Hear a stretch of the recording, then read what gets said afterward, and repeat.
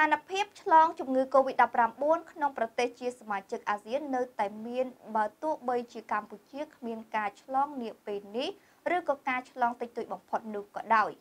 តួលេខឆ្លងថ្មីជំងឺ Covid-19 ក្នុងប្រទេសអាស៊ាននៃរយៈពេល24ម៉ោងមកនេះគឺមានចំនួន3535ករណីបើប្រៀបធៀបទៅនឹងម្សិលមិញការឆ្លងមានការថយចុះចំនួន1081ករណី ការឆ្លងក្នុងរយៈពេល24ម៉ោងមកនេះបានកើតឡើងលើប្រទេសចំនួន4តែប៉ុណ្ណោះនៅអាស៊ានគឺរួមមានប្រទេសឥណ្ឌូនេស៊ីហ្វីលីពីនវៀតណាមនិងប្រទេសមីយ៉ាន់ម៉ា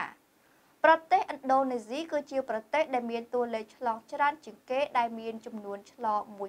1371ករណី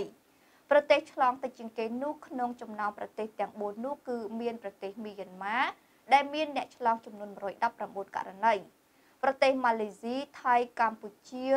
សង្ហបុរីឡាវនិងប្រទេសប្រ៊ុយណេគឺជាប្រទេសដែលគ្មានសេចក្តីរាយការណ៍ជំវិញការឆ្លងនិងការស្លាប់នោះឡើយតួលេខស្លាប់ដោយសារជំងឺ Covid-19 ក្នុងប្រទេសអាស៊ាននារយៈពេល24ម៉ោងចុងក្រោយនេះមានចំនួន31នាក់ដែលជាប្រជាប្រដ្ឋនៃប្រទេសឥណ្ឌូនេស៊ីនិងប្រទេសវៀតណាម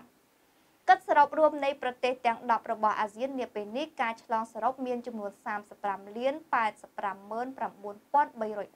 859317ករណី